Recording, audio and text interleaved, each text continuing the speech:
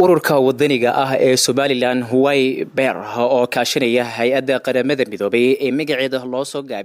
u n f b a ayaa waxay tababar u soo xidhay adeegayaasha bulsho iyo wacyigeliyaal ka hortaga f g m-ka amaba gudniinka fircooniga. Tababarkaasi ayaa ku saabsanaa sidii dhallinyarada loo bari lahaa habka ugu wanaagsan ee looga hortago f g m-ka amaba gudniinka fircooniga ah iyo wacyigelin in loo sameeyo dadka tababarkaas ayaa socday muddo laba maalmood ah kaasi oo lagu lafaguray sidii kor loogu qaadi lahaa wacyigelinta f g m-ka amaba gudniinka fircooniga ah iyo ka hortegistiisaba iyo sida oo kale tacadiyada ka dhanka ah haweenka kala duwan. Ugu horeyna waxaa xidhitaankii ka hadashay gudoomiye ku-xigeenka wibran samiire maxamed axmed waxaana ay tidhi waxaa farxadii ahba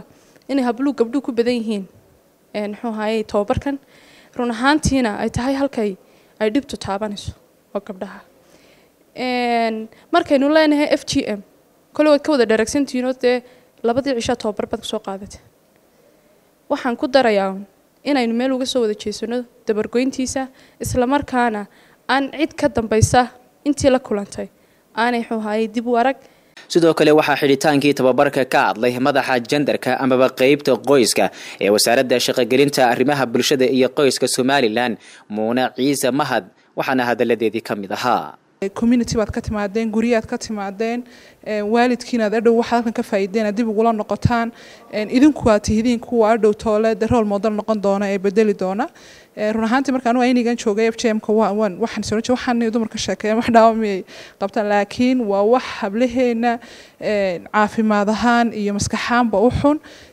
At same time waxaana diinna ahayn oo dhaqan ah oo diin laga dhigay. Marka horta waxaan rajaynayaa tababarkan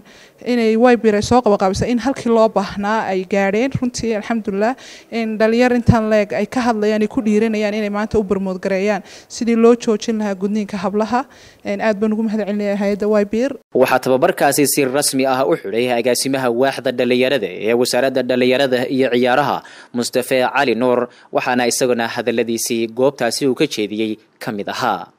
Maanta dalkeenna f j m-ku dhibaatooyin badan buu ku hayay muddooyinkii hore laakiin wakhtiyadan dambe waxaad mooddaa inuu soo dabargo-ayo runtii tababarkan muddada socdana aad baan ugu faraxsanahay sida quruxda badan eed uga faa'iidaysateen waxaana filayaa inaad labadii cisho casharada halkan ku qaadateen ay wax badan ka tari doonto. Dhibaatada f j m-ka ee maanta dhallinyaradeenna haysata amba qoysaskeenna haysata inay waalidadu fahmaan inay waxaan yahay wax diinteenna aanu ogolayn ee dhaqanoo laga tegi karo. Hay'adda wybirna runtii dadaalada badan wadda. Dhalinyarada aada mataqaana ugu gargaaraysa mashaariicahan iyo mashaariico kaleba wadda runtii dhalinyarada wax badan taraya aad baan ugu boorinayaa waanad ku mahadsantihiin Guaypir,